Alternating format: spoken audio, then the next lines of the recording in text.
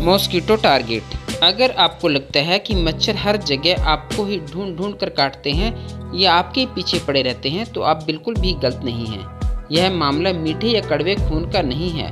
आप भी जान लीजिए इसकी असल वजह। Blood type. कई स्टडीज़ का कहना है कि वो ब्लड ग्रुप को ज़्यादा मच्छर काटते हैं। मच्छर इस ब्लड ग्रुप से ज़्यादा आकर्षित होते हुए देखे गए हैं। वहीं मोटाबालिक रेट भी मच्छरों की पसंद को प्रभावित करता है। प्रेग्नेंट और मोटे लोगों का मोटाबलिक रेट ज़्यादा होता है, जिसके चलते मच्छर उन्हें ज़्यादा काटते हैं। पसीना और महक। मच्छर खुशबू, बदबू सब सूंघ लेते हैं। उन्हें लैक्टिक एसिड अमोनिया और अन्य कंपाउंड्स की भी पहचान होती है, जो पसीने के माध्यम से शरीर से निकलते हैं। अगर मच्छरों को आपके शरीर से आ रही गंध अच्छी लगेगी तो वे आपको ज़्यादा काट सकते हैं।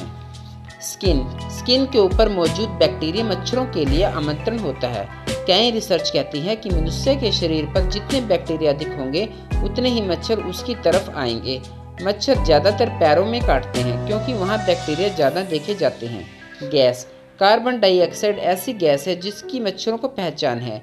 पाँच से पंद्रह मीटर की दूरी से भी मच्छर अपने निशानियों को पहचान लेते हैं, जो लोग जितनी लंबी साँसें लेते हैं, यानी कार्बन डाइऑक्साइड प्रोड्यूस करते हैं, उतने ही मच्छर उनकी तरफ़ आकर्षित होते हैं। ड्रिंक करने वाले बियर करने वालों को भी मच्छर ज़्यादा काटते हैं।